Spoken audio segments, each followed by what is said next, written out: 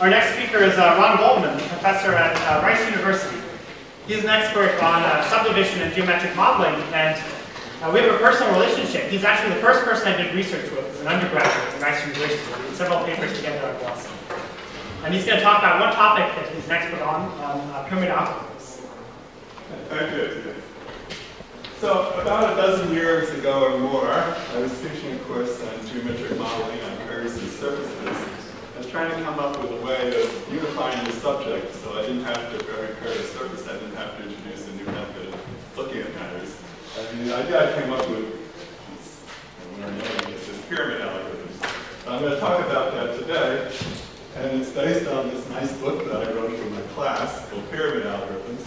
The good news is that this has been translated into Chinese, so it says the bad news is it has not been translated into German, to just let me know. Alright, so uh, uh, of course, uh, Etienne had said he had a three-hour lecture condensed to an hour and a half. I have a book I'm going to condense to an hour. So, of course, I'm not going to cover everything in the book. The idea is to whet your appetite. And if you're interested, the material's all in the book. So you'll see that I skip through some slides because I can't cover everything. But we'll see how it goes. All right.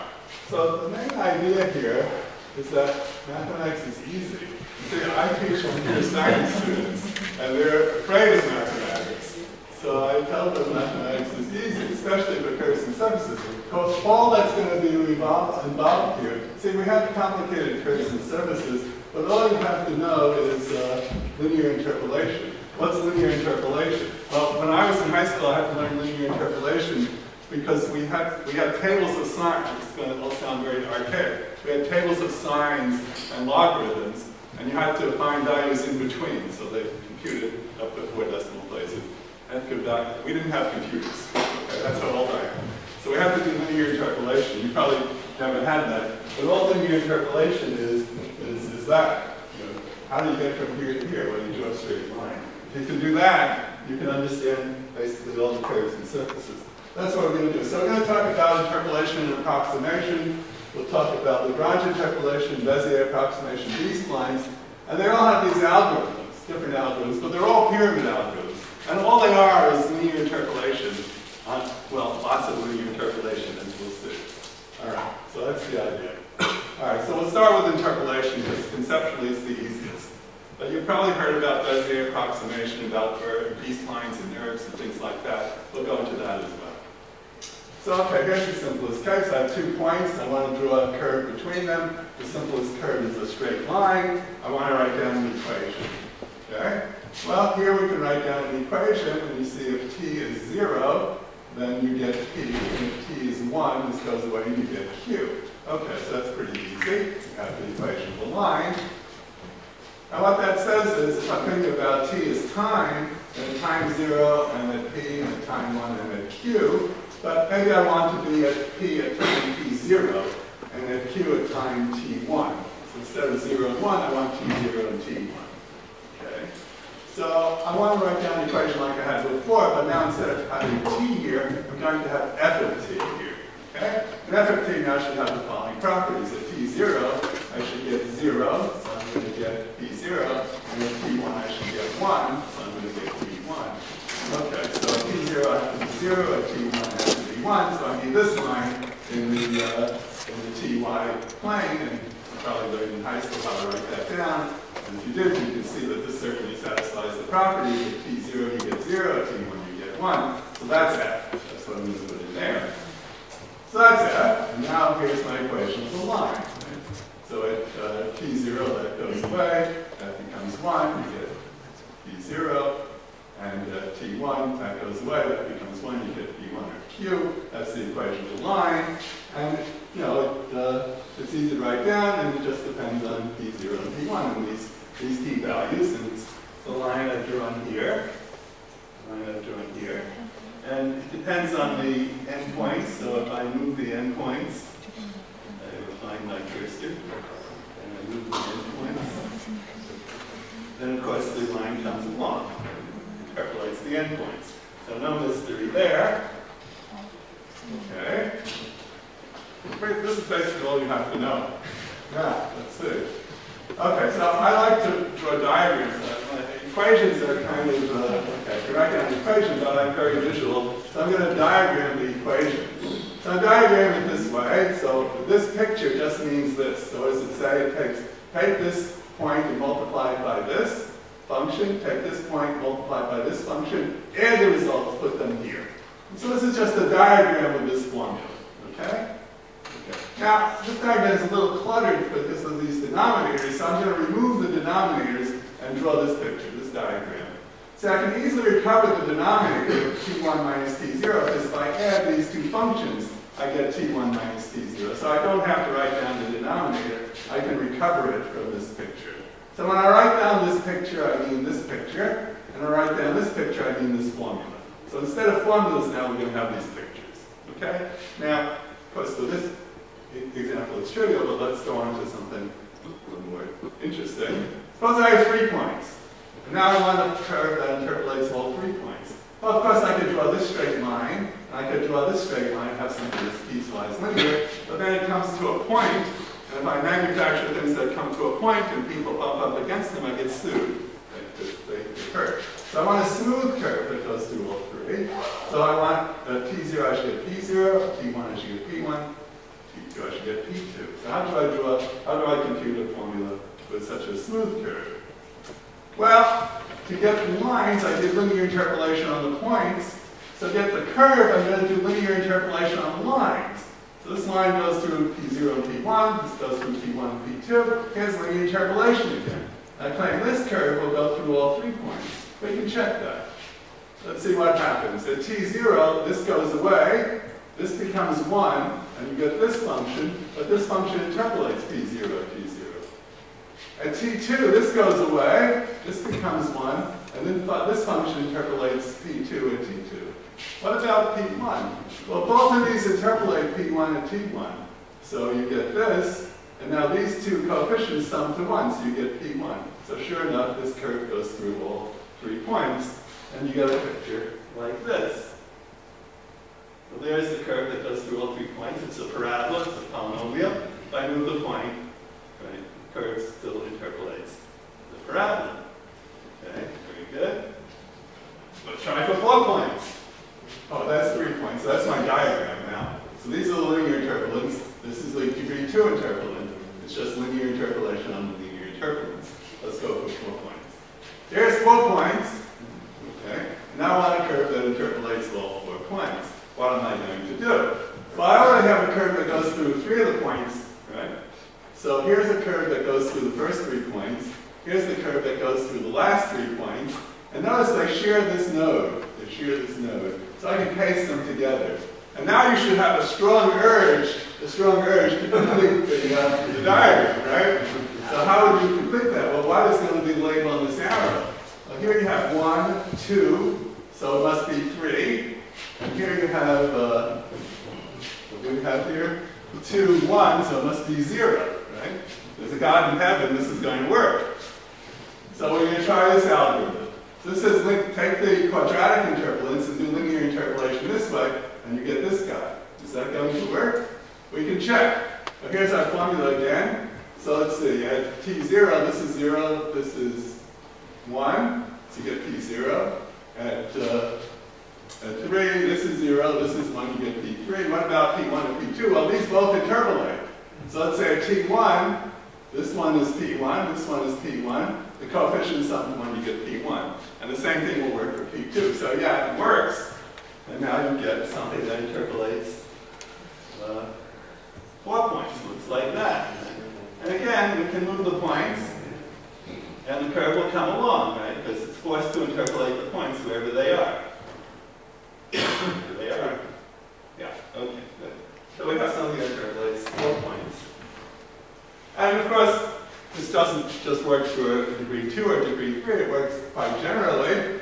So the theorem says if I have an interpolant that interpolates n points, 0 to n minus 1, that's n points, 1 to n, that's n points, I can paste the two, linear, the two interpolants together and get an interpolant that interpolates n plus 1 points.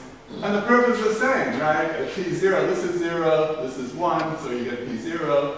At tn, this is zero, this is one, you get Tn, and both of these interpolate all the other points, so at Tk you get Pk, coefficient sum to one. So this works quite generally, and so this, uh, this equation is, or this algorithm, if you like, is called Neville's algorithm. If we take this literally, this says to compute this function, I should have a call to this function and a call to this function.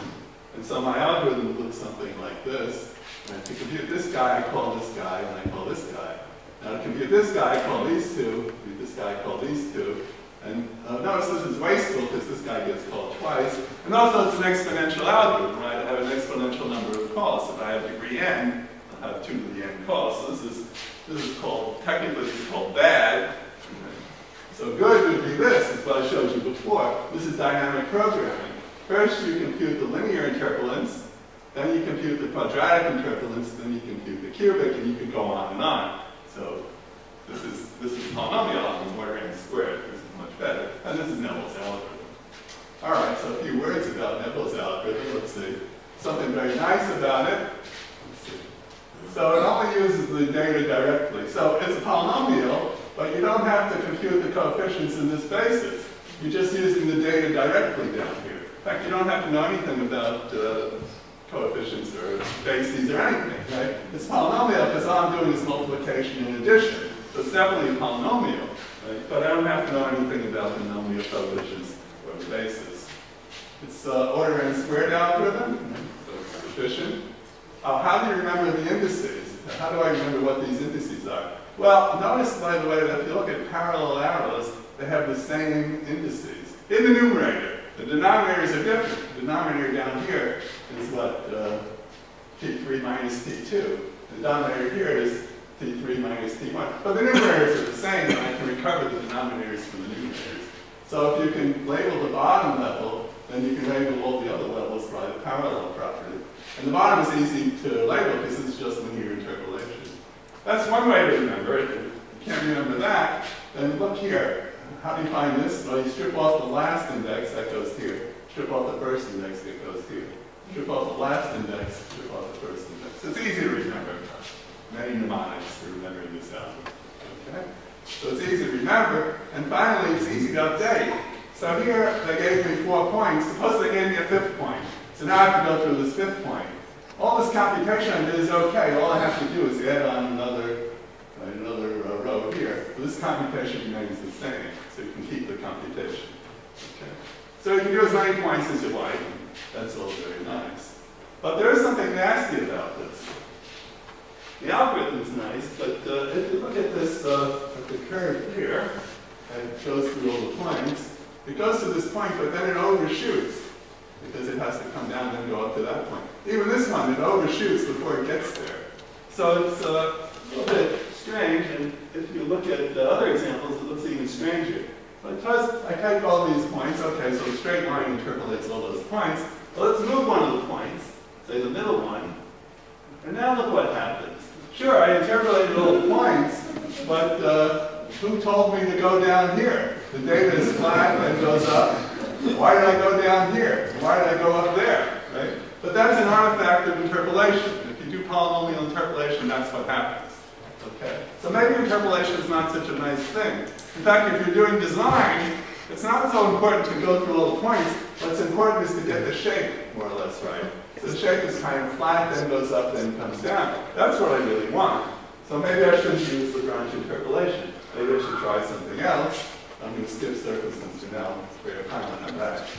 So we're going to try something else. This Bezier, probably heard of Bezier curves and surfaces. Let's try Bezier approximation. So the idea here is I don't want this to happen, right? If this is my data, then this is kind of what I want to happen. I'm not going to insist on going through all the points because that's what I get, but I'll insist on getting the shape right. So it should kind of go up and then kind of go down. If it didn't up high enough, then I'll just pull that, that point higher.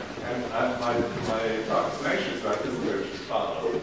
So let's see if we can build things like this. I think that things like, uh, like this rather than things like this.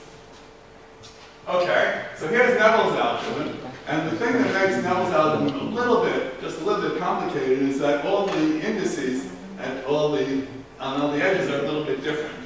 So uh, let's make it easier. So here's linear interpolation again. Now this is between A and B, right? So when P is a, I get p0, and P is b, I get uh, p1. So it's just same linear interpolation I showed you before. Here's my diagram for it again. Now, let's just do the same linear interpolation everywhere. Let's not change the indices. Let's just have b and a everywhere, right? So it's easy to remember, right? And this has a name. It's called the Casteljau algorithm. So uh, what, and now we're going to restrict, restrict t to between a and b. The reason for that is uh, if t is between a and b, then all these uh, combinations are convex. That, is, they're all non-negative. So I get convex combinations. So it's very stable numerically. This is called Neville's algorithm, and this is uh, this is um, what comes out the top is Bezier curve. I, I've showed you cubics, but you obviously you can do this for any degree. Just keep going higher and higher, just doing the same linear interpolation time. Usually you take A to be 0 and B to be 1, so it's even simpler. Even simpler. Sometimes you need to vary A B, but usually you take A B to be 0 and 1. So this is this is Lagrange, this is uh, de Casteljau algorithm. T is between 0 and 1, and these are the points. Okay. So maybe I should show you a picture. Bezier curve. Okay, so there's a typical Bezier curve. This is again a parabola, it's quadratic. If I move the point, the It follows. It doesn't go through the point, but it follows. It does interpolate the last point and the first point. We'll, we'll see why later, but it follows. That was, a, that was uh, degree two. Here's degree three. Again, if I move the point, the curve kind of follows along, right? It doesn't go through the point, it's the, the interior, the middle point, so it kind of follows along.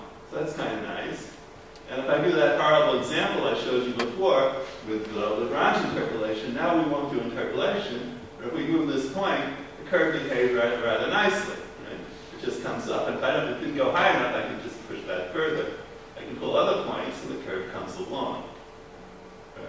So it's behaving much more nicely than curve behaved with the Lagrange interpolation. That is, if I'm interested in shape, you know, if the curve, if the points aren't sacred to me, if I'm just interested in getting the shape right, this is a lot better than I got with interpolation. So that's why people are interested in Bezier approximation. And also the algorithm is pretty much trivial, just linear interpolation repeated again and again and again. And Again, this is just cubics, but you can do it in degrees. Same algorithm. So, uh, okay, it's a polynomial. I'm just doing multiplication and addition. Uh, it has, uh, well, let's see, it lives in the convex hull of its control points because I'm just taking convex combinations. Has some other properties. Let's see, I'll prove, I can prove all these properties, by the way, just from the diagram. In fact, let me prove the interpolation property. You saw that the curve interpolated the first and last points. It's easy to show that. Let's, uh, let's prove that one. Okay. So, uh, yeah, let's see what happens. What happens when t is a? So when t is a, this is zero. And remember, this is divided by b minus a. So this is one. So the value here is the same as the value here. This is zero, this is one, so this value is the same as here. This is zero, this is one, so this value is the same here. So the value here is the same as the value here, and therefore t equals a, I interpolate p0. And the same thing with t is b, this is zero, this is one, so these values are the same, and so the curve interpolates p1. So, and you can reason with other properties of the algorithm just from, just from this diagram, and I'll show you a few more in a minute.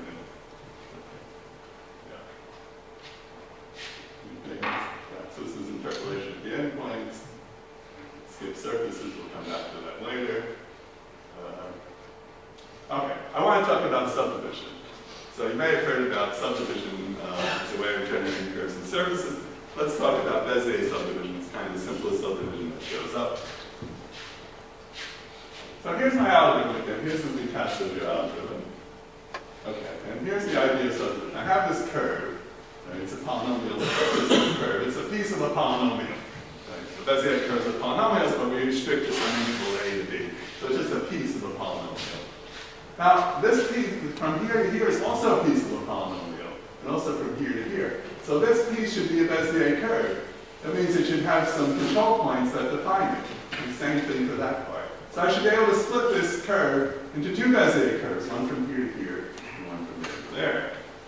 So there should be control points, the Q's, that define this part of the curve, and the r's that define this part of the curve. And the question is, given the p's that define the original big segment, how do you find the q's and the r's that define the shorter segments? And the answer is actually quite elegant. You can just read it off the, uh, off the de Casteljau algorithm. It's here. Here's the algorithm for, for computation, and here the q's live. They always live on this edge. And here the r's live. They always live on that edge. And that's it. That's the q's and the r's. So I'll prove this to you in a little while, but trust me for a minute. And uh, that's the q's and the r's. Now the point about the q's and the r's is that they're closer to the curve than the original p's. Now I can iterate this. I can take the q's and the r's and I can apply subdivision to them. And I get things that are closer and closer. So I can use this algorithm, the subdivision algorithm, to say render the curve. If the Bezier curve can be approximated, say by uh, a straight line during the first and last points, because we always know the curve goes through the first and last points, then you just draw that line. Right? Or you can draw the control polygon, it doesn't matter. Otherwise, subdivide at a half, or really at any other value, it doesn't matter. Right? And then render the pieces recursively. And that converges very quickly. I'll show you some examples. Look at this, this example first. I'll show you the subdivision algorithm. Put this back here. Uh, so here's one level of subdivision. So now I've split the curve into two pieces. So this piece and this piece, this is the Q's and this is the R's. And now I can iterate that. I can subdivide this piece and subdivide that piece. If I do that, then I get this. Pretty close. Subdivide again. That. And you can't really tell the difference anymore between the curve and the control polygon. So you can see. In fact, I'll remove the curve. That's just the control polygon. So looks like the curve. I can back this up and start again. Here's the original control polygon. One level of subdivision. Two, three, it already looks smooth. Four, that's the curve. So it's a very quick way of rendering. You don't even have to evaluate points on the curve. You just do subdivision several times, and you can draw the curve. You do that for any curve, any Bezier curve. Here's this more complicated guy. We can subdivide this guy. Right? This is one, two, three, four, five, degree six. There's one level of subdivision. Two, three, four. You can't tell the difference between the polygons and the curve. So this is a very efficient way to draw the curve. You can also use this to intersect two curves. Remember, the curve lives in the convex hull of its control points. So if the convex hulls of, of the two curves don't intersect, then the curves don't intersect. So you're done. Otherwise, if the curves can be approximated by straight lines, intersect the straight lines, that's easy to do. And if neither that's true, then subdivide and do it to the pieces recursively. And what happens is, eventually you get pieces where the control polygons, their convex hulls don't intersect, you throw them away, and you narrow down on some place where they do intersect, and eventually you approximate by straight lines and intersect the straight lines. Is a very powerful method for, say, analyzing Bezier curves. Let me say one more thing. I want to talk about, I'm going to skip a few things, but I want to talk about differentiation. So uh, I gave you an algorithm, skipping surfaces. I gave you an algorithm, and I want to know, here's my algorithm. This is a curve. Suppose I need to compute derivatives along the curve. How do I compute derivatives along the curve? I don't have a formula, I just have this algorithm. And the answer is not hard. The answer is, well, if you want the first derivative, just differentiate this. So you have one, you have one minus t. One minus t, derivative is minus one. The derivative of t is one. Just differentiate that. That's it. That's the, and then leave the other guys and compute. Oh, you have to multiply by three because this is a cube. If it was a quarter cube, multiply by four. So the degree comes in. That's it. That's how you differentiate these guys. I'll explain why later. Trust me for the moment. Now, if you take this, multiply this by 1, multiply this by minus 1, you get P1 minus P0. Put it here. P2 minus P1, P3 minus P2. And now you get this algorithm. This is Bezier curve again, one lower degree. Differentiation lowers the degree. And it's a Bezier curve with these control points. So, by the way, t is 0, then you get this vector. And t is 1, you get this vector. This Bezier curves interpolate. You want to differentiate twice, no problem. Differentiate this level, differentiate that level. That's two derivatives. Oh, now multiply by 6. The first time you multiply by 3 because it was degree 3. The second time is degree 2, so multiply by 2 times degree 6. Okay, and that works. you want to differentiate one more, differentiate that level. So that's how you differentiate Bezier curves. Again, you don't have to know formulas, you just have to apply this to the algorithm. Why this works will explain. Okay. So if you want to differentiate k times, then you differentiate k levels. By the way, uh, when I differentiated twice, I differentiated that level and that level. So I couldn't differentiate that level and that level. It also would work. Differentiate any two levels. It doesn't matter. This doesn't work for Lagrange interpolation, by the way. It's a special property of Bezier. We'll see why later. Okay. So uh, that's how we kind of differentiate. We want to differentiate k times, differentiate k levels, and multiply by this magic factor. So here's something interesting. If I want the derivatives, suppose I want to connect two Bezier curves. So here I have uh, yeah, well suppose I have two Bezier curves. So uh, this one, yeah, P and Q. So uh, I want I want to attach them at their endpoints. So at the at zero, right, this interpolates there. At, at zero, the derivative interpolates P1 minus P0, and the second derivative interpolates that. At 1, I also get interpolation conditions. And now we want to have two curves that join, then at 0, right, so you have p's and q's, these are your control points. So the q curve, right, his, uh, his first point has to be the same as his last point, so they'll at least join C0. Then the first derivatives have to match, right? This is the first derivative at the end point of the p curve. This is the first derivative at the start point of the q curve. These must match. So you can solve for q1, you already have q0, you get that. And similarly, you can solve for q2. So this tells you where to position points so that you can match up two curves with as much smoothness as you want. If I just took these three conditions, I would get C2. So this tells me how to join curves smoothly. So I think that's all I want to tell you about Bezier curves. So uh, let's move on to, uh, to uh, B-splines. I think that's all about Bezier. Yeah. Okay, so I'm going to go on to B-splines.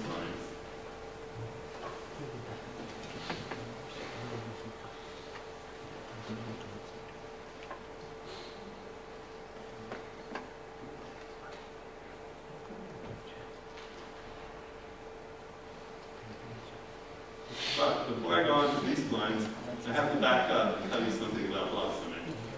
So bear with me.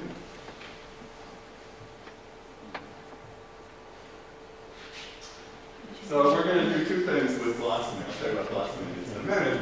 But we have to, I'm going to tell you why, I told you how subdivision works, but I didn't tell you why it works. I told you how differentiation works, but I didn't tell you why it works. So I'm going to back up and show you why that works. And then we'll use the technology that's developed to show you how, how and why these points work.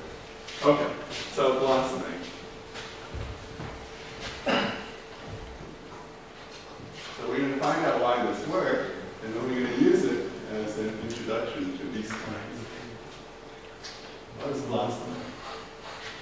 Again is to make things easy. So if you have a linear function, so a is a constant here, it might be 2 or 3.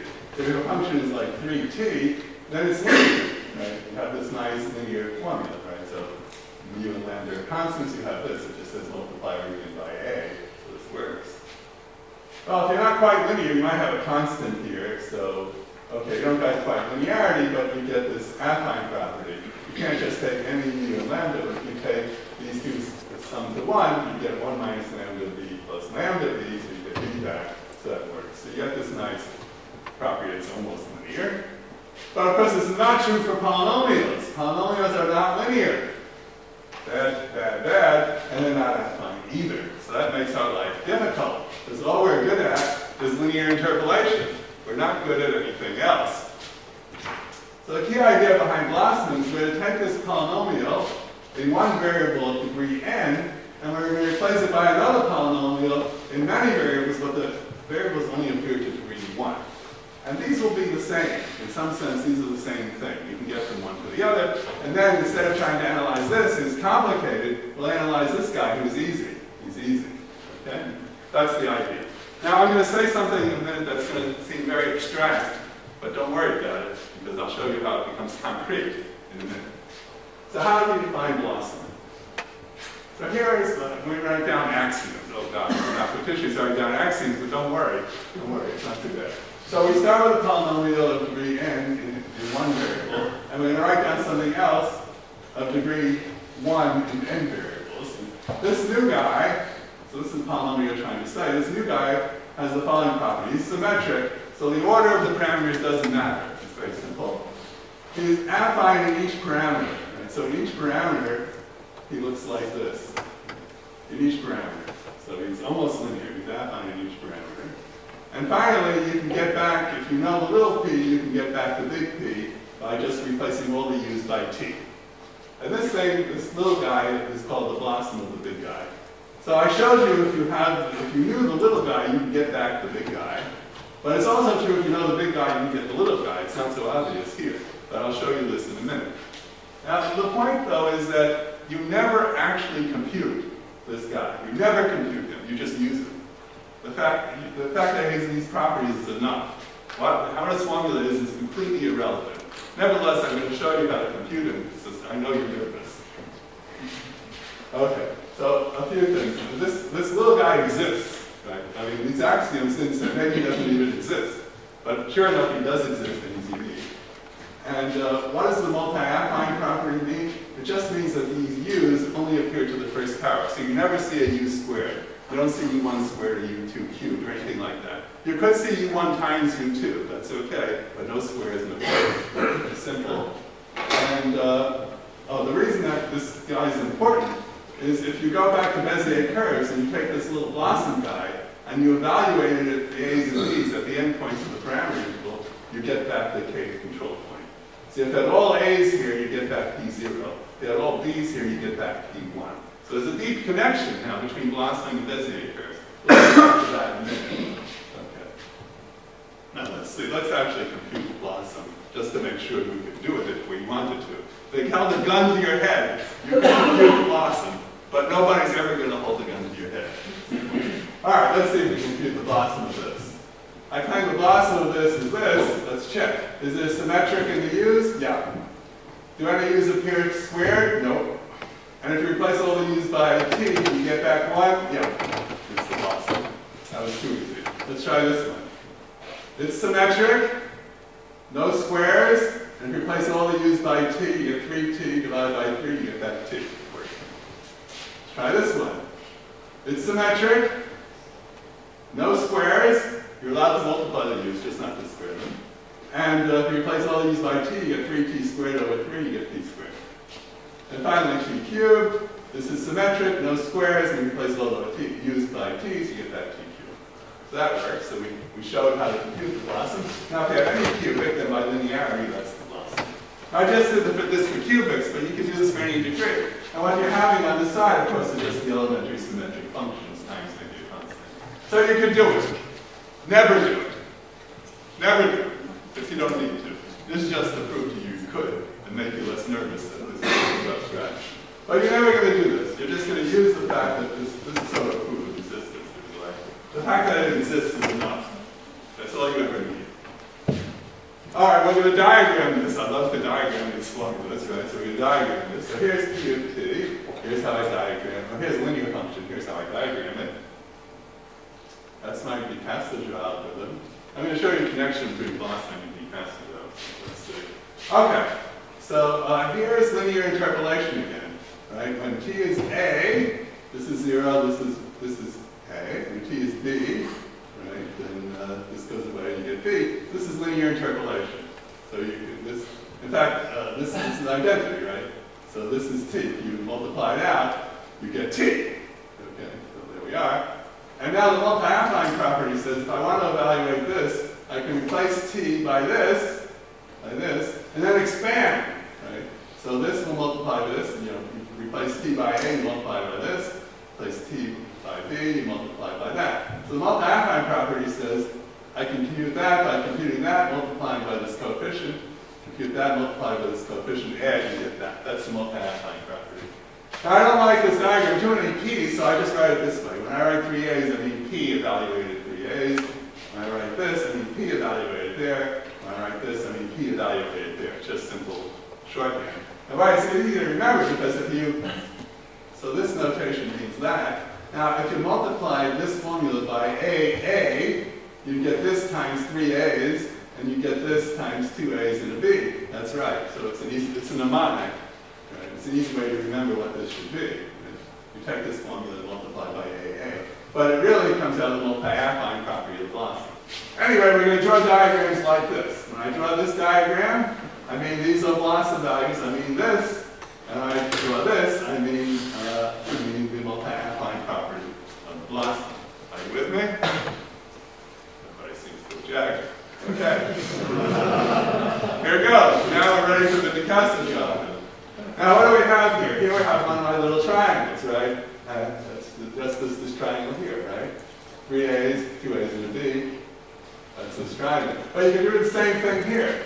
Now you have A and B are the same, and you represent T in terms of A and B, you get this little triangle. Same thing here, same thing here, same thing here. All right, so here I just represented T in terms of A and B. So the double P's came up. See here, things that are the same come up, and then you take one that's different and you interpret it. So that's the Casteljau. This is exactly the Casteljau. Up here is TTT. That's the value of the polynomial at T. That's the diagonal property. And what's down here? Let's see the control points. Let's see the control points. So the control points are the blossom evaluated at A's and B's. That's the control points. That's the connection between blossom and the Casteljau. Now we can do subdivision. How does subdivision work? Well, if I want the coefficients with respect, uh, I want the Bezier coefficients for the parameter interval A, B, there are three A's, two A's and a B, and two B's, three B's. Now if I subdivide, I need the I need these guys. I need three A's, two A's and a T, and two T's, three T's. I need that. I can just read that up the diagram. Here's the diagram. Three A's, two A's and a B, and two B's, three B's, three A's, two A's and a T, and A two T's, three T's. That's that's, that's, that's the left of subdivision. That's subdivision between A and T. Right? Three A's, two A's and a T, and two T's, three T's. And here, three T's, two T's and a B, two B's and a T, three B's. That's, that's the Bezier coefficients from uh, T to B. So these are the original Bezier coefficients in terms of the blossom value. This is left subdivision, that's right subdivision. So it's kind of like stealing. Right? We didn't have to do any work. Right? We just read off the answer. That's the point about blossom. You don't compute it, you just use it. Right? We didn't compute it, we just used it. Right? The fact that it existed was enough to tell us that that's subdivision. That's how you use blossom. We never compute the formula for it. Okay, let's do that. I want to show you one more trick, because I got to show you differentiation. So here's another trick. It's called homogenization. So here's a polynomial. That's a nice polynomial, but you see it doesn't have this nice property. It's a polynomial degree n. If you multiply t by c, you do not expect c to the n, because there are lower terms. So you don't have this nice formula. And the same thing here. This guy, the velocity is not linear, it's affine, so you can't just pull c out. It's, it's affine. We'd like to be able to do that. That would make our life simpler. So we're going to simplify p by throwing in another parameter. It's called homogenizing parameter. So instead of one variable, now we have two variables, and we just throw this in to make this the total degree here n. So every term now has degree n. When I see t to the k, I multiply by w to the n minus k. And so every term now is degree n. So if I multiply both c, both p and w by c, I get c to the k and c to the n minus k, and that's c to the n, and I can pull it out. So now I do have that nice formula, because everything is homogeneous of the same degree. I do the same thing with blossoming. For each parameter now, I'm going to replace, I'm going to use two parameters, a u and a v, a u and a v. This was linear in, uh, it was affine in u, I throw the v in, and now I can pull out the c. Well, I'll show you examples in a minute, but then do this right. And now if you want, if you have this guy and you want to recover this guy, it's easy, just set w to v1, and you'll get back the original polynomial. The same thing here, if you want the original uh, blossom, just set all the v's to be one get back the original blossom. Let's make sure this works, let's try some examples. Uh, let's do this one. So here, here is our original polynomial. We want to make it a cubic, so it'll look like that. here's our blossom. Now, uh, what are we going to do when we when we see u? We're happy, but we don't see u2 or u3, so to multiply by the v's. So if I don't see a v here, I multiply by v2 and v3. If I don't see um, u1 here, then I have to multiply by v1. So this is the homogeneous version, right?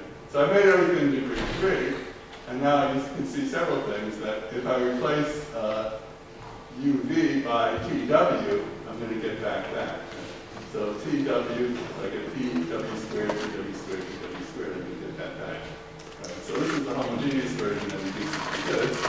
And I replace the v's by 1, I'll get back this. Do the same thing here. I make this degree 3, putting w there. This is my original blossom. Now where I don't, here I have u1 and u2, I don't see u3, so I put a v3 there. Here I don't see u1, so I put a v1 there. So every term either has u1 or v1, but never both.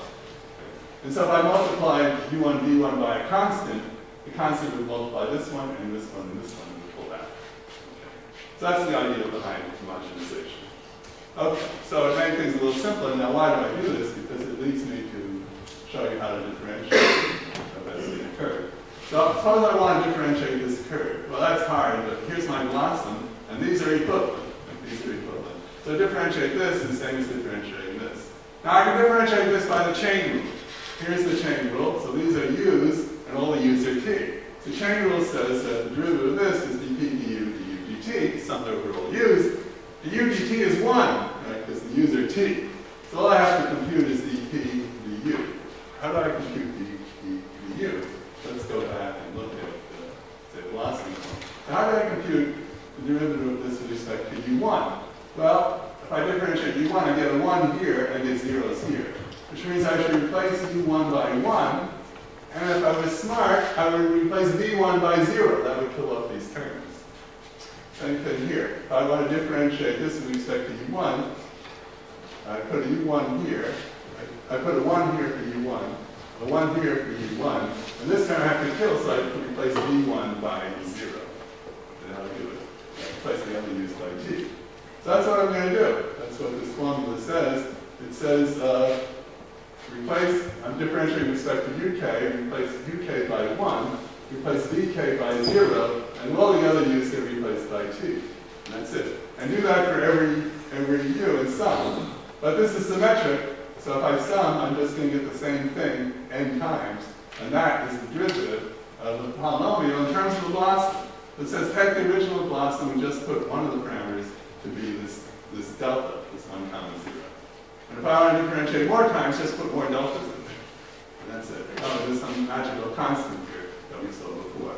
That's every time you differentiate, you multiply by n and minus 1. Okay, so that's how we differentiate the blossom.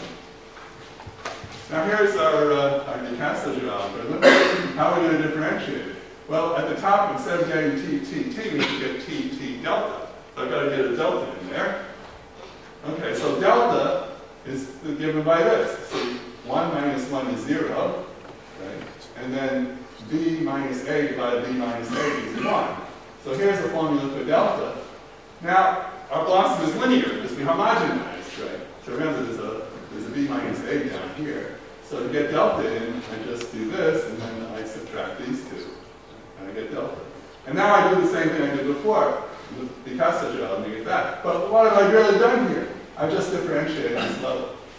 So inserting delta is exactly like differentiating. That's what I showed you last time. When I differentiate twice, put two deltas in. Differentiate this little, differentiate this level. Right? So that's how you differentiate. Okay. So uh, let's look at a few things. Okay, so these are the principal properties of blossom. Here you have their axioms. Here the differentiation formula. And here you have the relationship between uh, Bezier curves and and the control points and the blossom value. Okay, so good. So I have some time to do B-splines. Okay, so let's say a word about B-splines, about curves. So why, Bezier curves are so nice, why do we have to go to B-splines? You may have heard NURBS, that means rational lines, and non-uniform rational lines. Why do we do that? Well, there's some problems, let's see. If you have one column, so you think you can build a car with one polynomial? Seems unlikely, right? seems unlikely. So it's unnatural for design. Right? So, uh, I also, okay, maybe I'll use many polynomials and stick them together. And I showed you with Bezier curves I could do that. Right? I had one poly Bezier curve with the p control points, and I had another one with the q control points.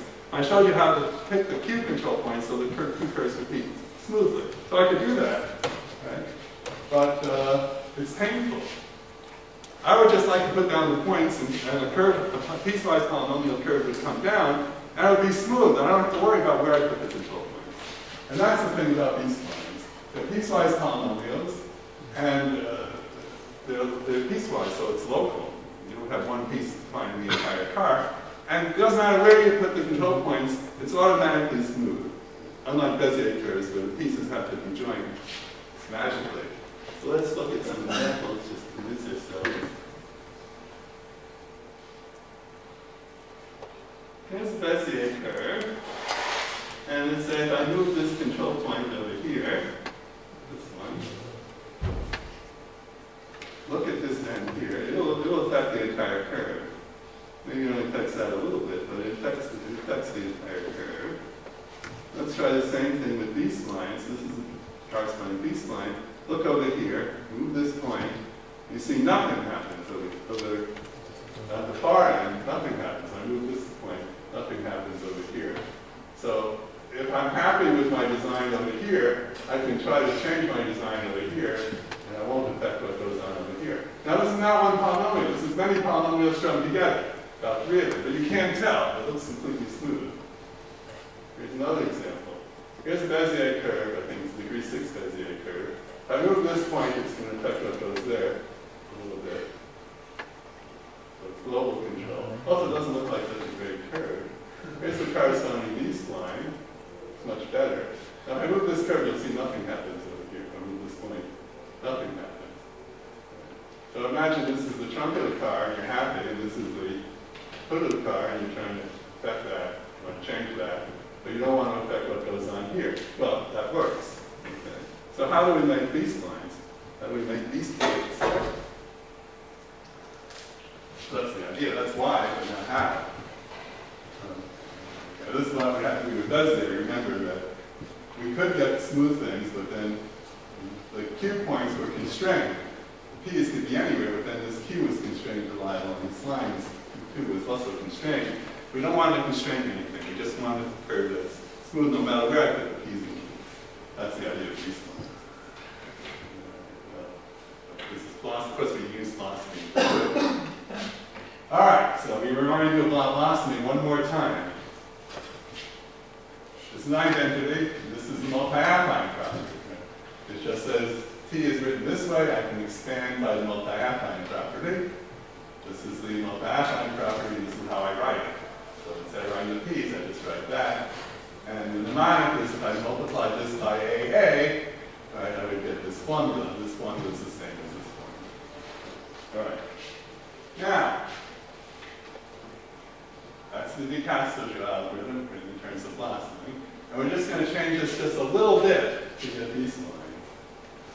The thing about the de algorithm, it comes from this. You have A's and B's and nothing else. Now the important thing is that two of these are the same, so they come up, and then the different one is interpolated. You can do this more generally. See, two of these are the same, T2 and T3, they come up, and T1 and T4 are different when you. So we use this identity, and we use this multi-affine property. Again, if we multiply this by T2, T3, we get this identity. So is the same as this identity. So instead of A's and B's now, we have these T's, and there are lots of them. And the T's are called knots. So I'm going to just use this again and again and again. This is linear, again, it's all linear interpolation. That's all we have. So here's that linear interpolation right here. And now we can change, instead of 1, 2, 3, 2, 3, 4, we have 2, 3, 4, and 3, 4, 5. So we just changed every index by 1. So this is a 4, this is a 5, this is a 1, this is a 2. You get this. Again, you shift every index by 1, you get this. And now you do it again, and you do it again, and this has an end. This is the de Boor algorithm. Now this algorithm, this just gives you a polynomial, right? So all you're doing is multiplication and addition. So this is a single polynomial, and we're going to we're going to restrict t to be between t3 and t4, because if you do that, then all these functions are non-negative, so you get convex combinations. But again, it's only a single polynomial, and I promised you piecewise polynomials. Okay? is a single polynomial. So I need to show you how to make the next piece. This is the piece between T4 T, T3 and T4. I need to show you how to make the piece between T4 and T5, and then between T5 and T6. Look here. Oops. Look here again. I'm going to shift every index by one. So if I shifted every index by one, then I get this. Here I had one, two, three. Now I have two, three, four. Here I had four. Now I have five. Right? So I just shifted every index by one, and now this is the segment between T4 and T5. Now the idea is that these two segments must meet, and they must meet smoothly. So I don't want to be able to tell where one, one stops and one starts. Now here they're pieced together. You see, here's, here's the segment between T3 and T4. Here's the one between T4 and T5. Remember, I just shifted indices. So what's sitting over here is identical. It's identical. So the segment between T3 and T4, between T4 and T5. Let's just check that they actually meet at T4. What happens at T4? At T4, this is 0, this is 1, because remember, the denominator here is, uh, is T4 minus T3. I can both the denominators. So this is 1, so the value here is the same as the value here. This is 0, this is 1, so the value here is the same as here, same as here. So yeah, at T4 they actually meet. But I have to show you more than that. I have to show you they actually meet smoothly. We'll come back to that. But at least they meet. Now, let's see. Uh, so, several things. So the t's are called knots, because say at t4 you're switching from one polynomial to another. That's called a knot. Uh, the, the uh, control point is by the loss and evaluated the knots consecutively. That's just what we said from the algorithm. Okay, so basically this was a knot. These are the control points. Now this is the knot. These are the control points. Okay, let's see. This algorithm again. Of course, we can do as many segments as we like. I'm just showing you two. Next segment we patch here and then here. Okay, uh, before I go on to prove that they're smooth, how do you remember all these indices? Again, it's easy. If you look at an arrow, see the four here? Whatever comes in comes out. Whatever comes in comes out. Three, three, three. So again, the numerators are the same. The denominators are different. But whatever comes into a node comes out in the same direction. That's one way you remember. Now, how do you remember? So if you can remember what goes down here, then you can just follow the arrows and you know what goes up there. How do you remember what comes down here? Well, at P2, see, this 2 is the same as that 2. That's easy to remember. And this 6, how do you get 6? 2 plus 3 plus 1. Why 3? 3 is the degree. So you take the index, you add the degree, and then you add one more. You add the degree, and then you add one more. That's the, that's the label. This is the same, and you add the degree, and you add one more. And that's what's on the bottom, and after you know what's on the bottom, it's easy to label the rest. Okay. So, uh, okay, it's numerically stable because I'm taking convex combinations. Uh, it's going to be smooth. I'll show you that in a minute. In fact, I think I should show you that next. How do I know this is smooth? So we already said on T, T4, they meet continuously. They go through the same value. Now, to get the derivative, what do we have to do? We have to insert delta. Right? The derivative is tt delta. tt delta, right? So I have to get this delta here. Now, delta, remember, is is it T4 minus T1 divided by T4 minus T1. So this says I subtract T4 and T1, and I'm left off the denominator, so it's there. So that's how you get delta. And then you continue from here, okay. So here's the first derivative for this segment, and here's the first derivative for that segment. What happens at T4? At T4, that's 0, that's 1, these values are the same. That's 0, that's 1, these values are the same. So yeah, at T4, the derivatives meet, the derivatives agree. What about two derivatives? Well, you need two deltas. So you do two deltas, and you differentiate that level, that level. Here you are. What happens at T4? That's 0, that's 1. These are the same. That's 0, that's 1. These are the same. So it makes two derivatives. Of course, the third derivative, you'll kill off this level, and the argument won't work anymore. But if you have cubics, you don't expect them to be with three derivatives, because that would be the same polynomial on both sides. What it says is automatically, wherever I put these control points down here, these curves are going to meet with two continuous once, you have curves with two continuous derivatives, typically you can't tell where one polynomial starts and where the other one begins. It doesn't matter where you put the control points. Okay. So we have nice properties. These are now piecewise polynomials. For each of these diagrams, you get a piece, you can put, tack on more pieces on either side, still works. Uh, you have continuity of order, well, mu here is one, so for n, you have continuity of order n minus one. You can have multiple knots and reduce the continuity, we won't talk about that.